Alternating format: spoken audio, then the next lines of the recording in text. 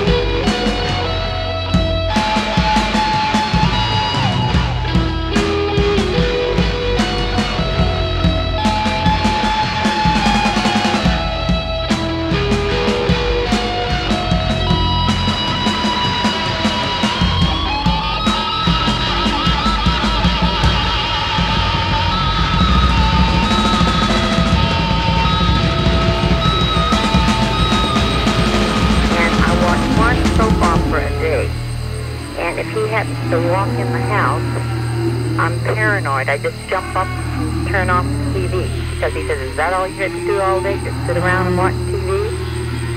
And I love to travel, so I've mentioned traveling to him, and finances are no problem. And he said he did all the traveling that he wanted to do while he was in the service.